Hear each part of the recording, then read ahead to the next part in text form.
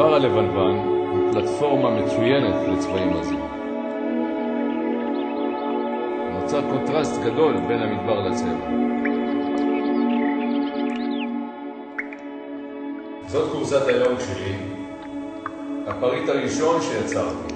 אני אוהב את העוצמה שהיא משדרת. בעצם, כולנו ילדים קטנים. אני מקווה שאני לא אגדל. לא יודע, זה אולי דברים שקשורים בטבע של האדם. ליצור דברים שייצרו עניין.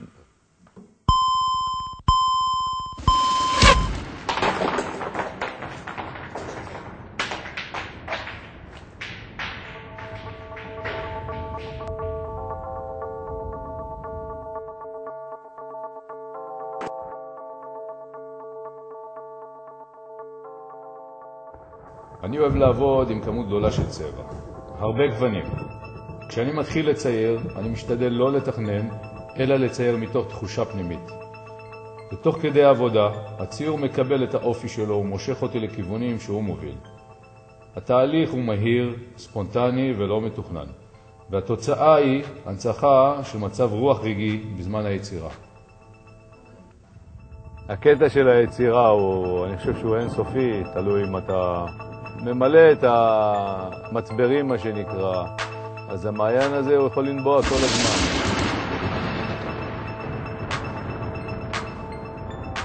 את ההשראה לקדים מצאתי בחלום. חלמתי שאני יוצר קדים גבוהים ללא מגבלת גובה. יש להם יכולת למקד את העין וליצור בחדר נקודת אנרגיה צבעונית וחזקה. זהו פריט עיצובי מובהק שמסוגל לשנות את האווירה בחדר בצורה דרמטית.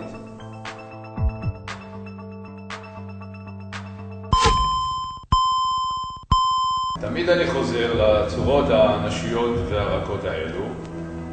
כנראה לא סתם אני חוזר אל היופי שברא הטבע, שהוא אוניברסלי ואז זמני.